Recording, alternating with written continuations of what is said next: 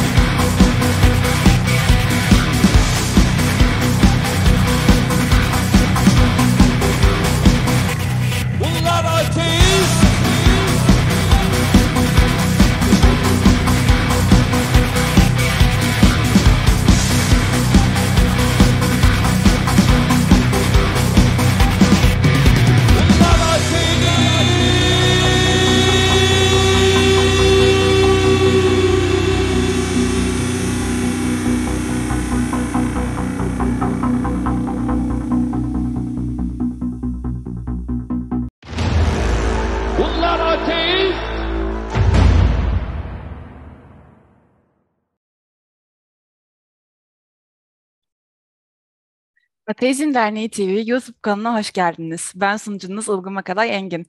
Bilindiği üzere Ateizm Derneği, Avrupa Konseyi ve Birleşmiş Milletler tarafından akredite edilmiş Müslüman nüfuslu ülkeler arasında dünyanın ilk ve tek yasal olarak tanınmış ateist insan hakları örgütüdür. Bizimle ilgili haberleri kaçırmamak için lütfen Facebook, Instagram ve Twitter sayfalarımızı takip alın. Ayrıca YouTube kanalımıza abone olun ve bildirim zilini açın. Derneğimiz kar amacı gütmeyen bir sivil toplum kuruluşudur. Arkamızda yabancı lobiler, karanlık güçler yok. Sadece Türkiye'nin aydınlanma savaşları yani sizler varsınız. Bu yayınımızda ve diğer tüm çalışmalarımızda olduğu gibi yalnızca Ateizm Derneği destek, destekçileri ve kanalımızın izleyenleri tarafından madde olarak desteklenmektedir. Eğer yayınlarımızı değerli buluyorsanız siz de Patreon, Kreasus veya YouTube destekçilerimiz arasına katılabilirsiniz. Bu hesaplarımızı inceleyerek birbirinden ilginç paketler ve farklı ayrıcalıklara erişmeniz mümkün. Ayrıca ekibimize katılmak için bize bunlar ateist.ateizmderneği.org.tr adresinden ulaşabilirsiniz. Konuğumu tanıtmadan önce birkaç küçük hatırlatma daha yapmak istiyorum. Ateist Gazete artık haftalık. Gazetemize ilk 7 gün sadece dernek üyesi veya gönüllüsü olan dostlarımız ulaşabiliyor. Ancak her yeni sayı yayınlandığında bir önceki sayıyı derneğimizin web sitesi ve sosyal medya hesapları üzerinden tüm kamu tüm kamuoyu ile paylaşıyoruz. Okumaktan ziyade dinlemeyi tercih eden takipçilerimiz için Ateist Gazete'de yer verilen başlıkları ele aldığımız bir haber bülteni hazırlıyoruz. Sunucularımız gazetelerimizde yer alan haberleri yorumluyor ve tartışıyor. Türkiye'nin en Allahsız haber bülteni Ateist Gazete'yi kaçırmayın. Bir diğer hatırlatmam da pikniklerimiz. Evet beklenen gün geldi. Geleneksel hale getirdiğimiz Ateizm Derneği piknikleri kaldığı yerden devam ediyor. Hem de bu defa kardeş derneğimiz Deizm Derneği ile birlikte. İstanbul, Ankara, İzmir, Antalya olmak üzere dört ilimizde eş zamanlı piknik yapıyoruz. Ama yurt dışında yaşıyorsanız ya da diğer illerde ikamet ediyorsanız lütfen üzülmeyin. Çünkü buradaki arkadaşlarımız için de aynı zamanda sanal bir tanışma toplantısı gerçekleştiriyor oluyoruz. Ve gelecek pikniğimizde 14 Ağustos Pazar günü saat 18'de gerçekleşecek. Ankara için Çankaya Sevmenler Parkı Neşeli Büfe arkası, İzmir için Alsancak Kültür Park'ta Paraşüt Kulesi'nin önü, İstanbul için Maçka Parkı Havuz Yanı, Antalya'da ise Konyaaltı Beach Park'ta Notman Bistro'nun ön tarafındaki çimlerde dernek filavamızın yanında sizleri bekliyor olacağız. Derneğimiz hakkında detaylı bilgi almak, yeni dostluklar ve arkadaşlıklar kurmak, özgür düşünceli aydınlık savaşçıları, savaşçıları ile keyifli bir piknik yapmayan ya, e, yapmak isteyen herkesi bekliyoruz. Çoluğunu, çocuğunu, evcil hayvanını, böreğini, kısırını, topunu, uçurtmana kap ve gel bize katıl. Bu hatırlatmaları yaptıktan sonra şimdi de konuğumdan bahsetmek istiyorum. Harvard'da doktorasını yaptıktan sonra MIT'de öte gezegenler üzerinde çalışmalarını yürüten ve NASA'nın TESS adlı uzay teleskobunda görevli bir isimle astrofizikçi Doktor Tansu Daylan'la birlikteyiz. Hoş geldiniz Tansu Hocam. Nasılsınız? Merhabalar, hoş bulduk. İyiyim. Sizler nasılsınız? Ben de iyiyim. Çok teşekkür ediyorum. Öncelikle yayınımıza katıldığınız için e, ayrı, ayrıyetten bu içten minnetlerimi size iletmek istiyorum. Çünkü e, sizin yanı, yayınımıza katılacağınızı duyduğum zaman o kadar çok böyle tüylerim diken diken oldu ki e, inanılmaz böyle çalışmaları olan bir hocamızsınız. Bunları yakından takip ediyorum ve e, e, Türkiye'den böyle değerli bir ismin çıkması gerçekten de çok takdire şayan. Ben teşekkür ederim. Yani umarım faydalı oluyordur bilim iletişimi çalışmalarımız. Ben de zevk alıyorum. E, faydalı olduğunu eğer görürsem daha da mutlu oluyorum. Yani tabii ki de eminim ki sizin çalışmalarınızı takip edip ve bunlardan esinlenen insanlar ve gençlerimiz illaki vardır ve belki de gelecekte ünlü bir fizikçi olacak insanların belki de önünü açıyorsunuz şu anda. Çünkü gerçekten e, hem öte gezegenler hem galaksimiz ve bunların üzerine çalışmak inanılmaz bence keyif veren ve e, insanı mutlu eden şeyler olabilir. Yani benim nacizane görüşüm çünkü ben de çok aynı zamanda hem fiziği hem astrofiziği çok seviyorum. E, üzerine konuşmadan e, yapamıyorum yani gerçekten gerçekten de. E, dolayısıyla da hem de bugün güzel bir e, görüntüler de geldi James Webb Uzay Teleskobu'ndan. E, güzel de denk geldi. Bunun üzerine de konuşmak çok istiyorum. Peki James Uzay e, Webb Teleskobu demişken bize bu uzay teleskobunun biraz böyle çalışma e, stratejisini, mantığını ve mekaniğini a, hafiften böyle bir anlatma şansınız var mı? Ee, olur. Yani JWST malum e, uzaya gönderileli epey oldu ama bilim gözlemlerine başlaması ancak e, teleskobun aynalarının ayarlanması sonucunda gerçekleşebildi. Birkaç ay önce bilim gözlemleri başladı ki bilim gözlemi derken ilk bas, başta aslında komisyon gözlemlerinden yani e, tam olarak aslında bilim yapmaya başlamadan önce e, sadece ayar değil yani bildiğimiz, anlamak istediğimiz hedeflere teleskobu doğrultmak ama bundan sadece bilim çıkarma amacıyla bunu yapmamak. Onun dışında gerçekten önceden test ettiğimiz, önceden gözlemlediğimiz nesnelerden manalı veriler elde ediyor muyuz, anlamlı veriler elde ediyor muyuz? Bunu sorma amaçlı gözlemler yapılıyordu. E, ama artık günümüz itibariyle şu an işte artık Ağustos oldu. E, bilim e, gözlemleri artık e, tüm e, hızıyla devam ediyor.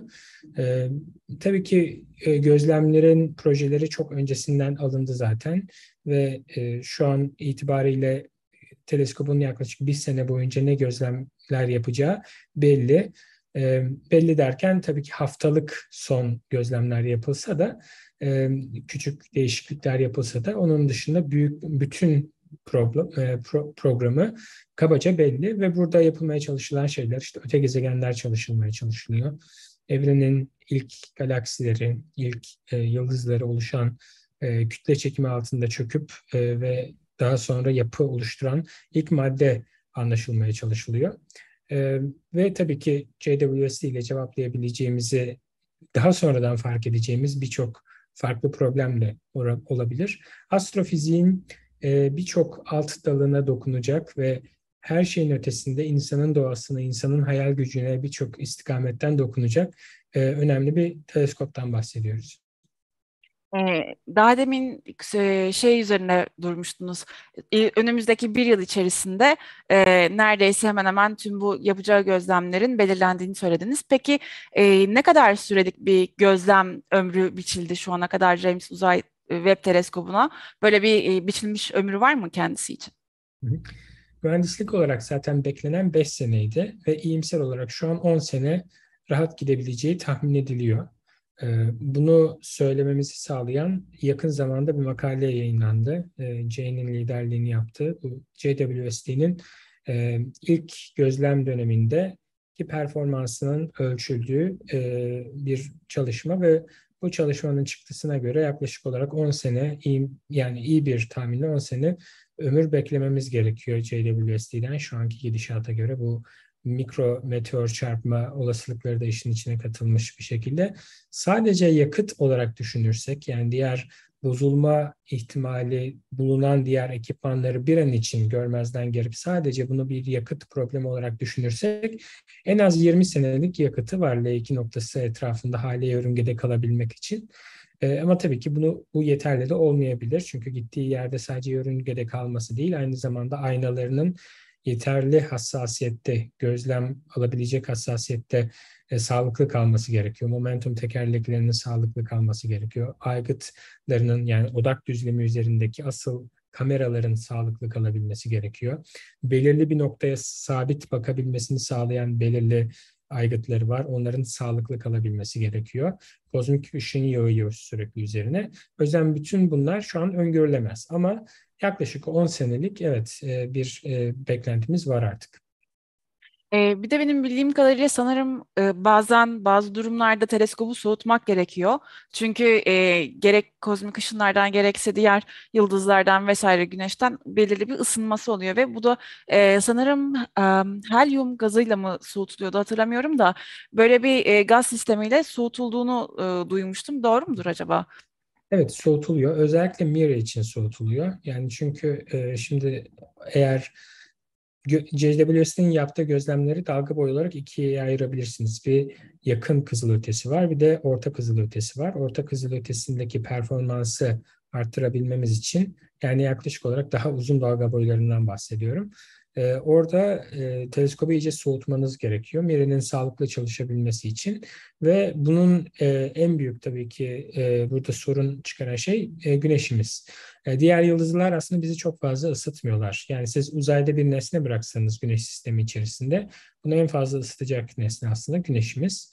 E, şimdi güneşten aldığı sıcaklığı öncelikle JWST'nin e, bir yayabilmesi lazım. Radyatörleri var üzerinde. Onun dışında doğrudan e, güneşten ışığa da maruz kalmaması lazım. Onun için de e, e, kat kat e, e, onu ısıdan, e, yalıtan e, bir sistemi var ve e, bu sayede soğuk halde kalıp e, Mire soğuk gözlemler yapabiliyor. Evet.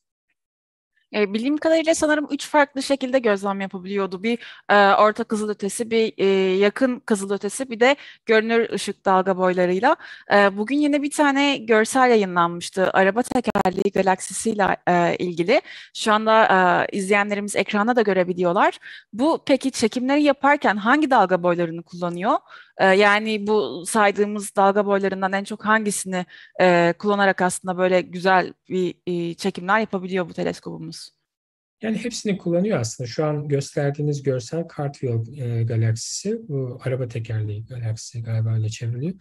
E, mesela burada NIRCam ve MIRI'yi birlikte kullanıyorlar. Yani genelde zaten eğer e, bir güzel fotoğraf çekmek istiyorsanız JWST ile iyi bir e, yani uzun dalga boyu aralığında çekmek istiyorsanız genelde iyi bir konfigürasyon NIRCam ve MIRI ile arka arkaya e, e, pozlar almak ve burada gördüğünüz çarpışan iki tane galaksi aslında. Bu 400 milyon yıl kadar önce bir çarpışma geçirdiğini tahmin ediyorlar. Ve e, tabii ki galaksiler malum çarpışınca çok fazla yıldız oluşumu oluyor ve etrafa toz dağılıyor. Bunu görüyoruz. Farklı dalga boylarına bakarak da bunları ayırt edebiliyoruz. Yani bileşenlerini ayırabiliyorsunuz. E, tozu ve yıldız oluşum bölgelerini ayırt edebiliyorsunuz. Yani bunlar da genel olarak e, kozmik tozun e, galaksilerde nasıl dağıldığını, galaksi çarpışmalarının yıldız oluşumunun nasıl tetiklediğini ve bütün bunların da galaksi evrimine eninde sonunda nasıl e, katkıda bulunduğunu anlamak istiyoruz. Çünkü biz mesela yakın zamanlarda yani e, evren e, yaşlıyken e, ki galaksi topluluğuna baktığımızda bu galaksilerin çoğu aslında önceden çarpışmış ve birleşmiş galaksiler. O yüzden galaksi birleşmesi, çarpışması bizim için önemli bir şey. Bunu anlarsak galaksilerin nasıl evrildiğini anlarız. E, galaksilerin evrildiğini anlamak da aslında kozmolojik olarak önemli bir bilgi kaynağı. Çünkü biz bu galaksileri kullanarak aslında kozmolojide çok temel sorular soruyoruz. Mesela diyoruz ki işte galaksi sayımı, evrendeki galaksinin sayı yoğunluğu yani belirli bir mesela e, belirli bir yo, e, volume e, hacim belirli bir hacimin içerisinde kalan e, galaksi sayısının zaman içerisinde nasıl evrildiğini mesela merak ediyoruz. Bu e, kozmolojideki en temel parametrelere hassas bir ölçüm. O yüzden e, kozmolojik olarak modellerimizi merak ediyorsak e, ne kadar karanlık madde, madde var, ne kadar karanlık enerji var ve bunlar zaman içerisinde nasıl evriliyorlar en büyük ölçekte yani kozmolojik en temel sorularımızı cevaplamak istiyorsak eninde sonunda bunları da cevaplamamız gerekiyor ama tab- tabii ki tek başına galaksi evrimini çalışmak da o da ayrı bir şey. Ee, biraz hani eninde sonunda ne çıkarmak istediğinize bağlı olarak farklı sorulara cevap verebiliriz bu, bu gözlemlerle. Ee, peki şey sormak istiyorum. Ee, galaksik e, yani ya da galaktik ölçeklerde baktığımız zaman e, yakın bir gelecekte aslında Andromeda galaksisiyle Samanyolu galaksisinin çarpışacağı, çarpışacağını biliyoruz. İlk başta e, belirli bir şekilde birbirine yaklaşacaklar. Daha sonra e, etraflarında bir dönme hareketi yaptıktan sonra aslında tamamen bir kaynaş, kaynaşma şeklinde bir çarpışma bekleniyor Andromeda galaksisiyle. Peki bu çarp, çarpışmadan sonra mesela e, daha demin sizin de söylediğiniz gibi birçok aslında e, yeni yıldızların e, doğmasına vesile olacak birçok e, zengin e, uzay tozları meydana geliyor. Peki bu durumda e, öngörüş olarak bizim bu galaksimizde neler bekleniyor? Bu konu hakkında bilginiz var mı? Mesela e, güneşimizin de bir ömrü var.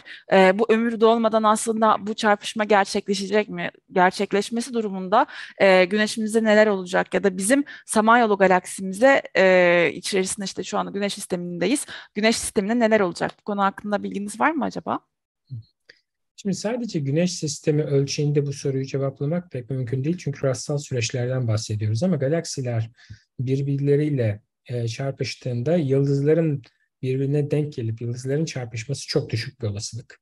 Çok fazla galaksi içerisinde milyarlarca ve yüz milyarlarca yıldız olduğu için birkaç tanesinin çarpışması mümkün olabilir. Daha doğrusu yani birkaç tane değil çoğunun çarpışması mümkün olabilir ama oran olarak baktığınızda aslında geçirgen yani çoğu boş aslında. Hacim, hacmin çoğu boş. Öyle düşünebilirsiniz bir galaksi için. Şimdi e, şunu hatırlatayım. Evrende yıldızlar ve galaksiler genel olarak evrildikçe böyle LRG dediğimiz büyük e, kırmızı eliptik galaksiler oluşturuyor. Bunu nereden biliyoruz? Diğer galaksilere, uzaktaki galaksilere bakınca e, böyle merkezinde büyük e, ve çok fazla yıldız oluşturmayan artık sıkıcı diyebileceğimiz kozmolojik anlamda büyük galaksiler oluşuyor.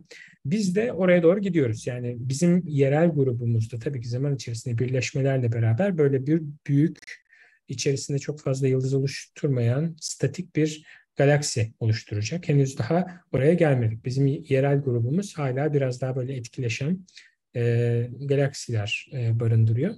Bizim güneş sistemimize bu süreçte ne olur? Tabii ki bilmiyoruz. Bizim güneşimiz bir 5-6 milyar daha yıl ortalıkta. E, yani beyaz oluşturmadan önce. Tabii ondan sonra da ortalıkta olacak. Çünkü yeterince kütlesi yok patlamak için. Patlamadan sıkıcı bir şekilde beyaz cüce haline gelecek. Etrafındaki hidrojen zarfını dağıtarak uzaya. Ve e, o yüzden bütün bu süreci görecek bizim güneşimiz ve etrafındaki e, e, gezegenler.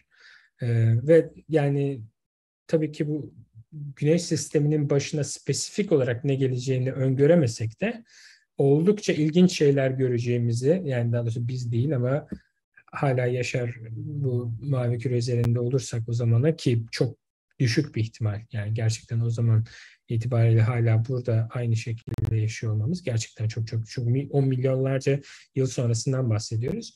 Ama yani öyle bir hipotetik gözlemci tanımlayabilseydik ve yani eğer dünyadan gözlem yapabiliyor olsaydı büyük bir tabii ki ışık şovu görürdük. Çünkü yani yıldız oluşumu tetiklenecek tabii ki galaksiler birleşirken Andromeda büyük tabii ki bir galaksi kütle olarak.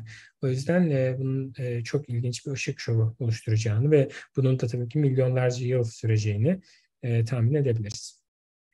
Ee, peki şey de sormak istiyorum bu James Webb Uzay Teleskobu'nun ilk gönderdiği gör, e, görsellerde e, SMAX e, 0723 e, isimli bir görsel vardı. Özellikle teleskobumuzu buraya yönlendirmenin belirli bir nedeni var mıydı? Şimdi bu bölge tabii ki sayabilirsiniz çok az yıldız barındırıyor. O yüzden e, yani galaksi dışı ortamı görebilmek için iyi bir e, olay, e, iyi bir e, e, fırsat. Ama onun ötesinde spesifik olarak bu, bu noktaya bakılmasının sebebi burada bir galaksi kümesi olması. Bu e, sınırları tam da belli olmayan beyaz e, galaksiler görüyorsunuz. O galaksiler aslında galaksiyum kümesinin e, e, üyeleri ve bu galaksi kümesi arka plandan gelen ışığı kırdığı için merceklenme etkisiyle arka planda normalde gözlemleyemeyeceğimiz sön, e, sönüklükte olan galaksileri gözlemleyebilmemizi de sağlıyor. O da ayrı bir konu. Yani e, o yüzden heterojen sebeplerden ötürü buraya bakılması ve bu ve bunun gibi galaksi kümelerine bakılması zaten çok tipiktir kozmolojik açıdan. E, önemli olan galaksi kümelerinin e, çok fazla yıldızlarla kirletilmemiş olanlarını seçmek e, ve onlara bakmak ve çok fazla da böyle kozmik toz olmayan Malum şimdi biz bir galaksi içerisinde yaşıyoruz. Galaksi içerisinden galaksi, galaksi dışı fizik yapmaya çalıştığınızda e, böyle galaksi düzleminde bakmak istemezsiniz. Çünkü çok fazla kozmik toz var zaten. Ve galaksi halesi içerisinde özellikle mümkünse galaksi küme, e, galaksi düzleminden 90 derece öteye bakmak istersiniz. Ama tam yani hani 90 dereceyle de kısıtlamazsınız kendinizi. Zaten galaksi kümesi sayısı evrende çok fazla böyle milyarlarca değil. O yüzden bunlar içerisinde bir haritalama yapıp genelde bunlara bakılıyor ki e, buradan olabildiğince kozmik e, bilgi çekebilelim.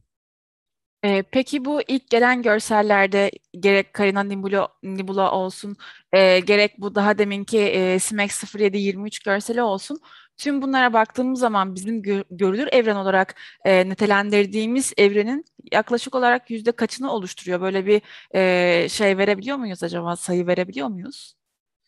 Şimdi Karina için konuşmak gerekirse tabii ki o yani gözlemlenebilir evrenin tabii ki içinde daha doğrusu gözlemlediğimiz her şey gözlemlenebilir evrenin içerisinde tanım gereği. Gözlemlenebilir evren konusunu irdelediğimizde e, tabii ki sadece kozmolojik hedefler burada önemli hale geliyor. Carina mesela bizim galaksimizin içerisinde, diğer hedefler de galaksimizin içerisindeydi. Tek bu SMAX malum galaksimizin dışında, orada birkaç tane yıldız dışındaki gördüğünüz her şey galaksimizin dışında. Ee, tabii ki bunların, bunların tamamı da galaksi yani dışı olsa da gözlemlenebilir evrenin içerisinde. Ee, gözlemlenebilir evren konusu aslında kozmik arka plan ışıması ve onun gibi e, veri setlerinde daha anlam kazanıyor. Çünkü gözlemlenebilir evren dediğimiz şey teleskoplarımıza e, neden sonuçsal etki bırakabilecek herhangi bir parçacığı ve fiziksel süreci içine alır. Ki bu bahsettiğim az önce söylediğim şey bizden milyarlarca ve on milyarlarca yıl, ışık yılı uzakta olan bir şey. Yani o yüzden evrendeki ilk galaksilere baktığımızda bile e, o hipotetik kürenin çok çok içinde olan nesnelere bakıyoruz. O yüzden gözlemlenebilir evren aslında JWST ile ötelenen, büyütülen bir şey değil. Burada önemli olan şey şu, kozmik arka planın ışımasından milyonlarca yıl sonra böyle galaksi, galaksi demeyeyim de evrende bilmediğimiz, daha doğrusu çok detaylarıyla inceleyemediğimiz bir bölge var veya zamansal e, süreç var. Buna karanlık çağlar diyoruz. E, karanlık çağlar tabii böyle söyleyince çok egzotik gibi bir şey gelebilir. Yani ki bir bakıma da öyle. E, ne bakımdan egzotik? Şu bakımdan evrendeki madde enerji yoğunluğunun karanlık çağlardan önceki halini biliyoruz. Ve karanlık çağlardan sonraki maddenin e, nasıl filaman halinde böyle iplikler halinde dağıldığını ve galaksi oluşturduğunu biliyoruz. Ama o ikisi arasında e, film kopmuş durumda. Yani çünkü orası, orada bir gözlemsel aracımız yok.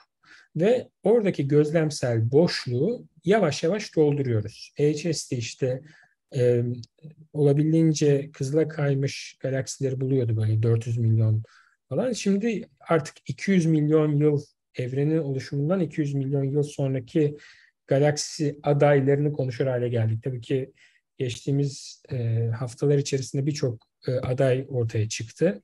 E, SMAX ve benzeri veri setlerinde. Şimdi burada tabii ki daha bir konsensus oluşmuş değil. Yani ortaya çıkan her adaya inanmıyoruz ama e, yavaş yavaş bu ufkun yavaş yavaş ilerleyeceğini tahmin ediyoruz. Ama tekrar söyleyeyim bu gözlemlenebilir evren ufku değil. Bu başka bir şey. Bu karanlık çağa doğru bir gidiş. Ama karanlık çağın çok çok daha ötesini de zaten gözlemsel olarak biliyorduk. O yüzden e, ikisini ayırt etmekte fayda var.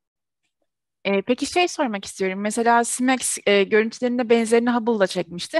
Peki mesela bu Hubble'la e, çektiğimiz görsellerle James Webb Uzay Teleskobu'nun görsellerini karşılaştırdığımız zaman inanılmaz büyük farklılıklar var. Peki bu e, iki teleskobun aslında e, işleyiş ve çalışı, çalışma e, yöntemlerine baktığımızda nasıl bir farklılıklar ya da benzerlikler var? JWST'nin aynası büyük. Kızıl ötesinde bakıyor. O yüzden bu ikisi en büyük farklar. Yani çalışma prensibi olarak bir de JWST L2 noktasında, Lagrange 2 noktasında ve daha doğrusu noktasında değil, onun etrafında hale yörüngesinde.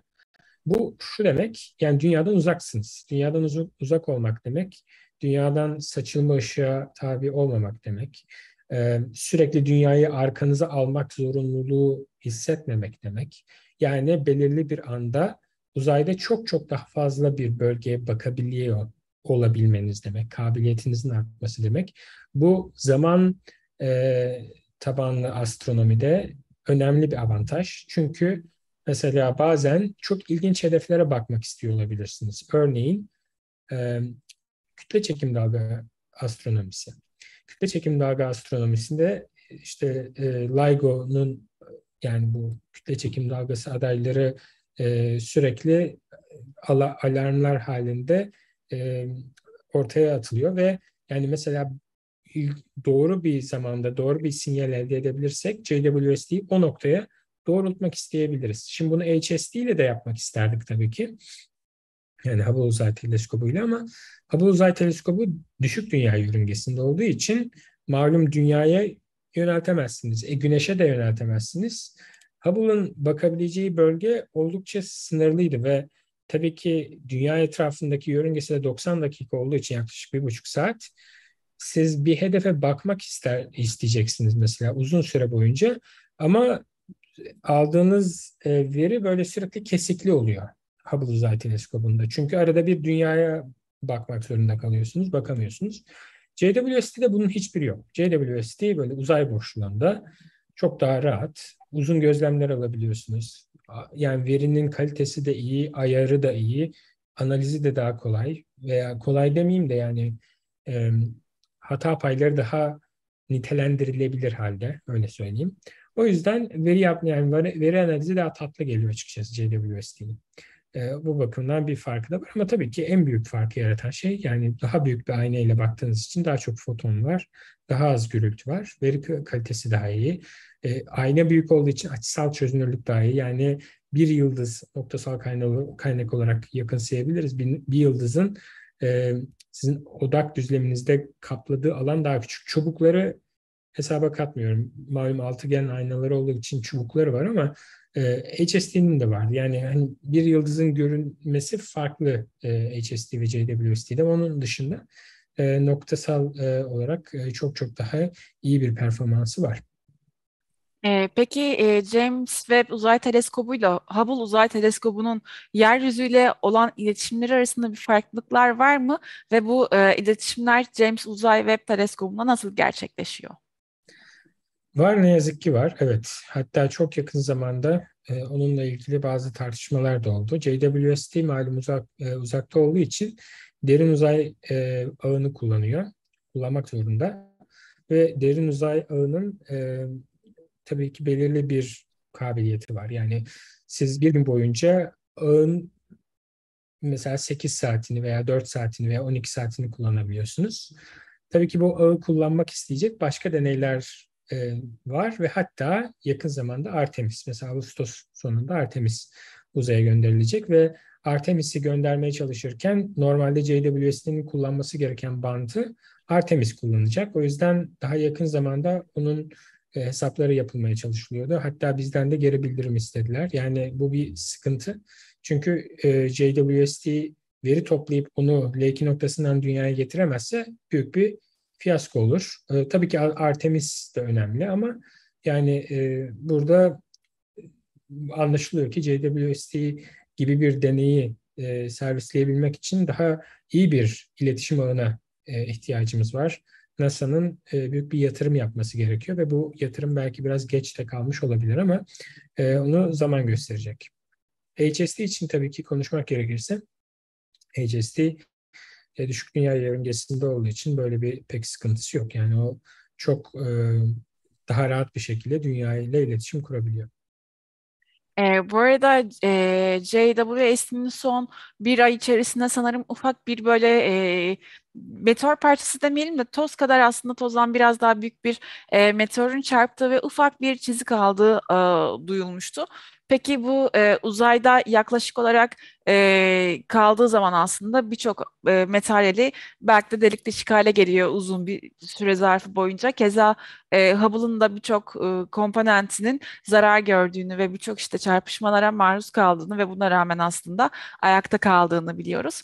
Peki bu e, hassas aynaları, bu James, Webb Uzay Teleskobu'nun hassas aynalarına uzayda da, e, beklenenden daha fazla bir zarar e, gelme riski ne kadar ve bu e, zarar görme e, durumunda herhangi bir şekilde biz ona e, müdahalede bulunabilir miyiz? E, çünkü çok uzakta bulunan, Lagrange 2 noktasında bulunan bir teleskop ve oraya gerçekten de bir insana götürüp getirmek çok belki de daha riskli olabilir. Çok uzun süreler olduğu e, süreceği için de belki de e, gözden çıkartmak daha mı e, iyi bir çözüm oluyor bu durumda?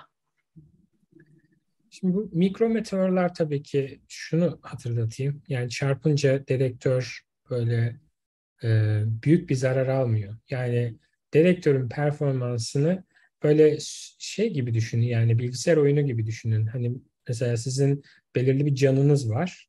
Böyle o yavaş yavaş her darbe aldığınızda azalıyor. Yani bir teleskobun e, verisinin kalitesi birçok parametreye bağlı.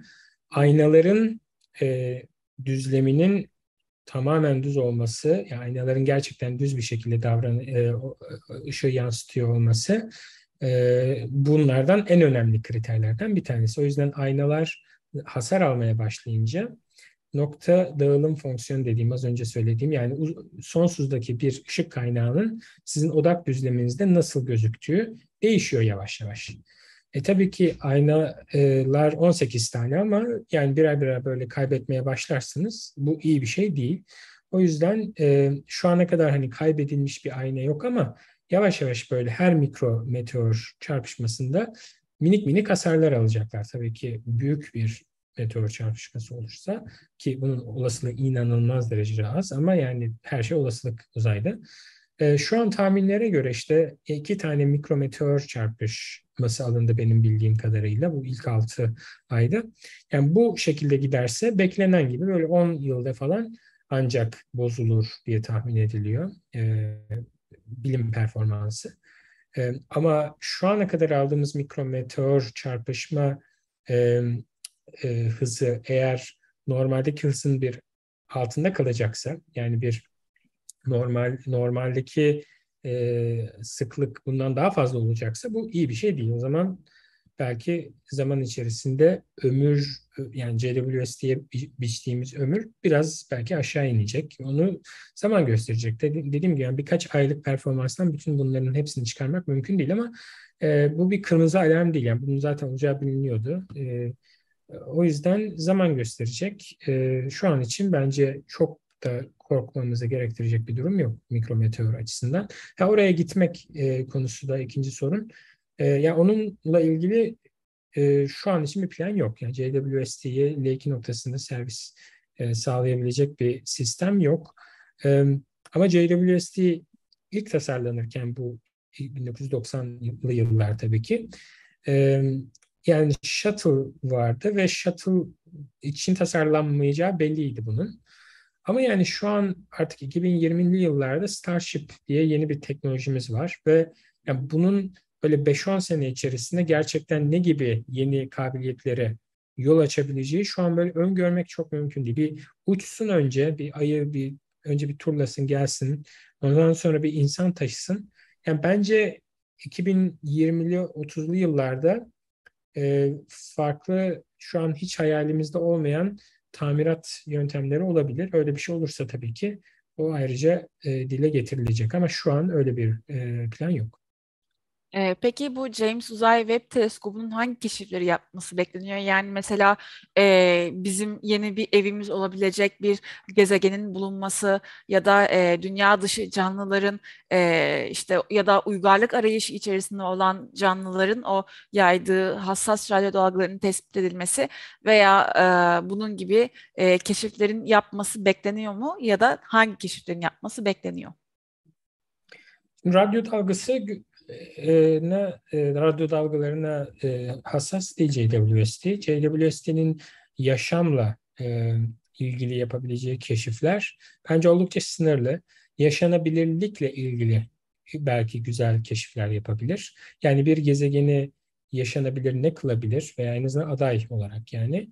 Belki onunla ilgili birkaç güzel sinyal alabiliriz ama onun dışında bence WST'den sadece yaşam bulmakla ilgili e, böyle herkesin üzerinde mutabık kalabileceği ve olayı tamamen bitirebileceğimiz bir veri alabileceğimizi düşünmüyorum. Yani belki halkın beklediği odur diye özellikle bunu söylemek istedim. Ama güzel şeyler bulacağız yaşanabilirlikle ilgili. iyi e, e, modellerimizi test edebileceğimiz, iyi veriler elde edebileceğimizi düşünüyorum. Bunu spesifik olarak nasıl yapacağız? E, Neptün altı dediğimiz ve süper dünya dediğimiz böyle Neptün'den küçük ama dünyadan büyük olan gezegenler var. Bunlara JWST bakacak ve bunların e, üzerindeki yaşanabilirlikle ilgili koşulları e, inceledikçe e, gezegenlerin atmosfer kayıp süreçlerini daha iyi anlayacağımızı düşünüyorum ve JWST burada büyük bir oyuncu. Yaşanabilirlik e, için önemli bir kriter atmosferin tuta, tutamayacağı bir gezegenin. Bunu anlarsak bence mesela Kepler'le ilgili birçok e, sıkıntı e, görüyorduk. Mesela Kepler çok fazla öte gezegen buldu. Kepler teleskobundan bahsediyorum. E, ama birçoğu için gezegenin varlığından emin olsak da yaşanabilir bölgede olsa da şunu diyemiyoruz ya bu atmosferini kaybetmiş midir etmemiş midir acaba? Bunu bilemiyoruz. Mesela bunu ölçmemize epey yardım edecek e, veriler elde edecek bence JWST zaman içerisinde. E, peki bu JWST'nin yapım aşamasında ne kadar kişilik bir e, ekip görev aldı ve hangi ülkeler bunları destekledi ve yaklaşık olarak yapım maliyeti ne kadar? Bu konu hakkında bilginiz var mı? Yaklaşık olarak 10 milyar dolar. Daha e, hassas bir sayı vermek gerekirse yaklaşık 11'in biraz üzerine çıktı diye hatırlıyorum. 11.5 miydi öyle bir şey diye e, e, hesaplandı en son milyar dolar. E, ve yani kaç kişi çalıştı bilmiyorum on binlerce diyebilirim. Yani JWST gibi büyük bir projede insan saymak bile o kadar kolay değil ki yani hani az miktarda e, katkısı olan insanları da saysanız hata payı büyük ihtimalle 10 bin falan insan edebilir. Yani çok çok fazla insandan bahsediyoruz. Ülke olarak tabii ki fırlatma ve e, e, uzaya gönderilme ve ana e, teleskopun e, aynaları vesaire NASA.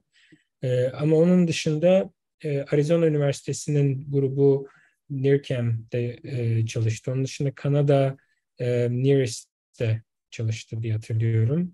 E, yani odak düzlemindeki diğer aygıtlardan bahsediyorum. Avrupa Uzay Ajansı'nın bir konsortiyumu var.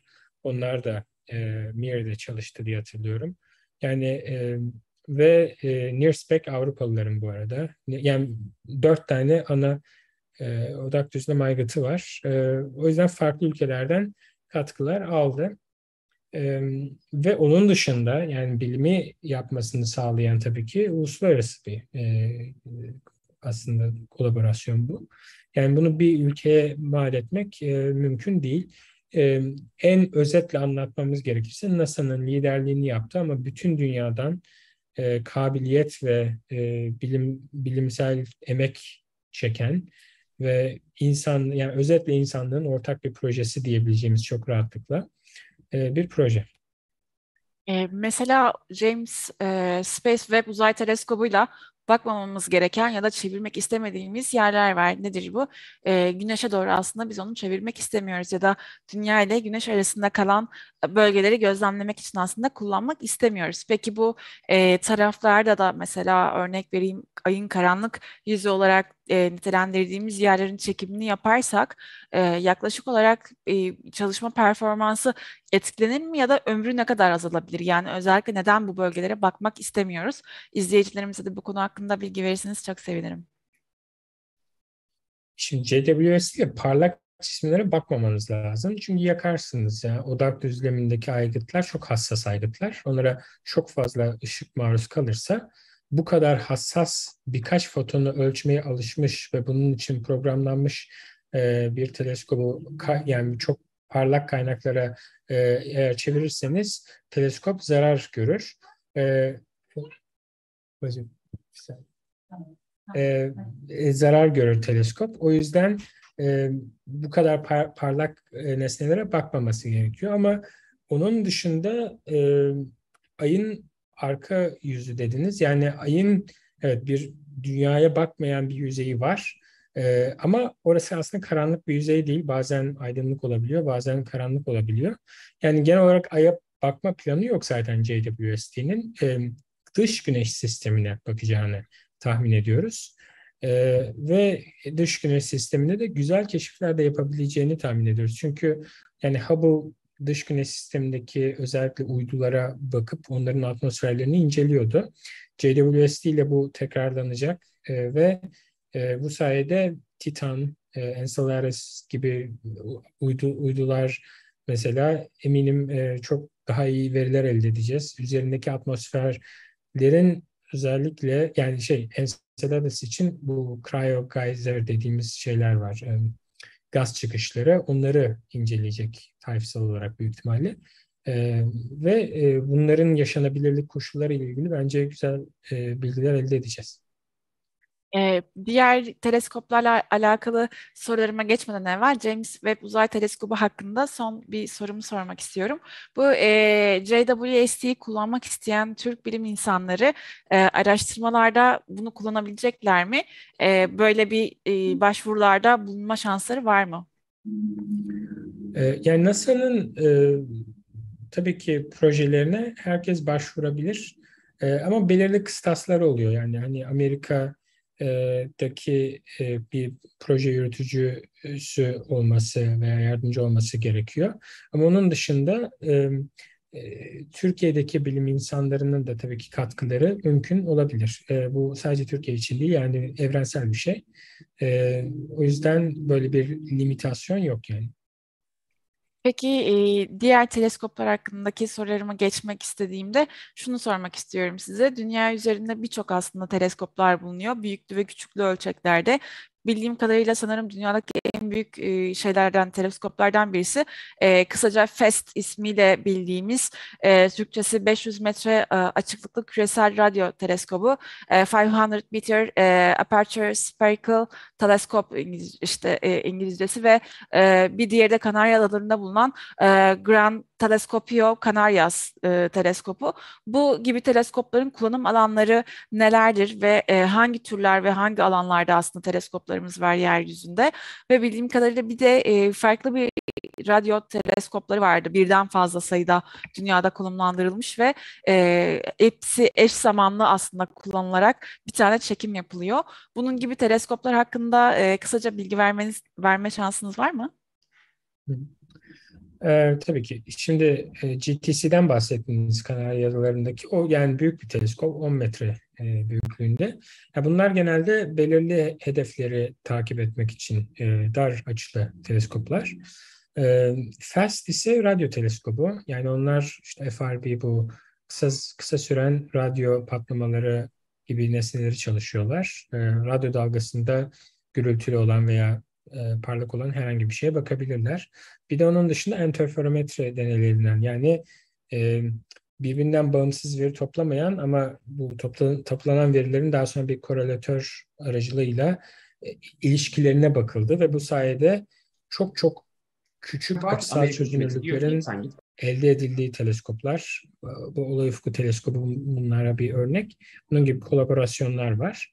Bunlar tabii ki farklı bilimler yapmaya çalışıyor. Yani e, interferometre dediğinizde açısal çözünürlüktür burada asıl elde edilmeye çalış, çalışılan şey. O yüzden küçük nesnelere bakmak istiyorsunuzdur. Hem parlak olacak hem küçük olacak. O aday ne? Malum kara deliğimiz. E, veya işte kara delikler genel olarak. Küçük olay ufku dediğimiz küçük bir e, uzamsal ölçek. Genelde onlara hassas hale geliyorsunuz. Hem parlak hem küçük olması lazım. E, yani onun dışında e, GTC gibi deneylerde dediğim gibi yine öte gezegenlere çok fazla bakılıyor onlarda. Atmosferlere olsun. E, onun dışında e, yanlış pozitifleri ellemek açısından olsun. Bunun gibi hedeflere bakılıyor. Peki Türkiye'de yani ülkemizdeki en büyük teleskop hangisi ve nerede bulunuyor? Bu konu hakkında bilginiz var mıydı? Yakın zamana kadar e, Antalya'daki e, TÜBİTAK e, uzay e, gözlem evinde e, ama şu an itibariyle DAG aslında en büyüğü diyebiliriz veya olmak üzere e, ve 4 metrelik bir teleskop e, bu ve kızılötesinde gözlem yapacak.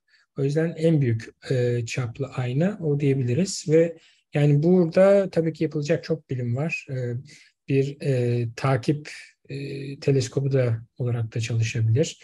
Bir e, yani yerel e, daha doğrusu global bir ağın yerel temsilcisi olarak da çalışabilir. Bütün global olarak e, takip teleskoplarının bir parçası olarak ve öte gezegen çalışabilir, kozmoloji çalışabilir. Yani e, çok e, e, fonksiyonlu bir teleskop olacak. Burada önemli olan tabii ki hem büyük aynasının olması hem de oldukça Erzurum gibi soğuk e, bir bölgede olması bu e, kızıl ötesi e, dalga boylarında oldukça hassas yapacak e, dalga. E, peki son olarak şunu da sormak istiyorum size yayınımı sonlandırmadan evvel. E, siz bildiğim kadarıyla öte gezegenler hakkında çalışmalar yapıyorsunuz. Bu öte gezegenler hakkında çalışmalar yapabilmek için hangi teleskopları kullanıyorsunuz ve e, şu ana kadar konuştuğumuz teleskoplar içerisinde aslında öte gezegen bulmak adına en e, kullanımı elverişli olan teleskop hangisi? Burada bulmayı nasıl tanımladığınıza biraz bağlı. Yani önemli olan sayı mı ki burada istatistik deneyi giriyor işin içine. E, istatistikse tabii ki Kepler açık ara önemli. Kepler Uzay Teleskobu. E, buradaki amaç detaylandırılabilir, detaylı bir şekilde incelenebilecek öte gezegenleri keşfetmekse açık ara TESS tabii ki burada en önemli teleskop. Ama onun dışında yer tabanlı da birçok teleskop var. Yani geçiş derinliği yeterince büyük olan yani yaklaşık olarak büyük öte gezegenlerden bahsediyorsak bunların çoğunu yerden yakalamak da mümkün. Yerden birçok yani ismini saymak neredeyse mümkün olmayacak bir liste var zaten. Ee, uzayda da aslında sadece TESS e, TES ve Kepler de ondan önce CORO diye bir teleskop da vardı. Yakın zamanda yeni teleskoplar mikro merceklenme dediğimiz bir etkiyi kullanarak mesela e, Roman teleskobu e, e, uzaya gönderilecek ve o o tarzda bir bilim yapacak. E, onun dışında Gaia yani uzay e, Avrupa Uzay Ajansı'nın gönderdiği 2013'te ve hala da uzayda olan ve veri toplamaya devam eden bir teleskop. Bunun mesela e, yine mikro merceklenme ile ve e, aynı zamanda da astrometriyle e, e, öte gezegen bulabileceğini tahmin ediyoruz. O yüzden e, bunu bir e, teleskop filosu olarak düşünebilirsiniz. Yani bu tek bir teleskop değil, birçok teleskop var. E, bunlar aslında işbirliği yapıyor bir bakıma. E, ve tabii ki ben geçiş ve mikro merceklenmeden bahsettim. Bir de tabii ki dikine hızı yöntemi de var. Onlar genelde yerden yapılıyor. E, o yüzden e, yani büyük aynalara ve parlak e, cisimlere ihtiyacınız var. O, o da ayrı bir konu tabii ki. Orada yörüngesini tam olarak bulmuyorsunuz geçiş görmediğiniz için. Ama yine onlar da kendi başına size öte gezegenler hakkında çok güzel bilgiler veriyor. Kütle ölçümü yapıyor. E, o yüzden bütün bunu bir takım oyunu olarak değerlendirebiliriz. E, peki yayınımızı sonlandırmadan evvel e, sizin son olarak eklemek istediğiniz şeyler var mıdır? JWST heyecanlandırıyor bize. Yani e, şu ana kadar halka yansıyan kısım sadece buzdağının görünen kısmı e, ve biraz halkın desteğini tutmak e, için bence yapılan bir şey ama asıl e, gerçek keşifleri yıllar içerisinde zamana yayılmış bir şekilde halk görecek ve e, bu e, süreç yani bunu e, bunun bir süreç olduğunu unutmamak lazım. Bilim böyle hızlı telaş içerisinde yapılabilecek bir şey değil. Zaman içerisinde e, ilk baştaki makaleler e, e, yanlışlanabilir veya e, sorgulanabilir. O yüzden e, zaman içerisinde kozmolojik olarak da olsun, öte gezegenler açısından da olsun çok güzel bilgiler elde edeceğiz. Ve e, JWST sayesinde bir sonraki jenerasyon teleskopları nasıl inşa etmemiz gerekiyor? Güzel fikirler oradan da elde edeceğiz. Bu değerli e, bilgiler ve yanıtlarınız için çok teşekkür ediyorum hocam. Ve böylelikle de bir yayınımızın daha sonuna gelmiş oluyoruz. Öncelikle değerli konuğuma ve e, siz değerli izleyicilerimize daha sonra da yayımda ve yapımda emeği geçen tüm gönüllülerimize teşekkür etmek istiyorum. Ha, bir de teşekkür demişken bir teşekkür de Patreon ve Kriosus destekçilerimize gelsin. Bilin, bildiğiniz gibi bir geleneğimiz var. Bu da bazı Patreon ve Kreasus paketlerimizi seçerek bize düzenli destekte bulunduğunuzda yayın sonralarında size teşekkür ediyoruz.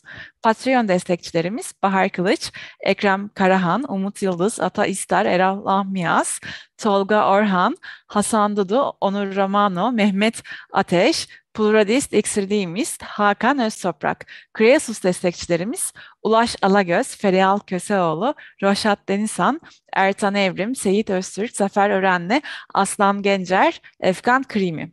Bize olan desteğiniz için teşekkürler. Arkamızda olduğunuzu bilmek bize güven veriyor.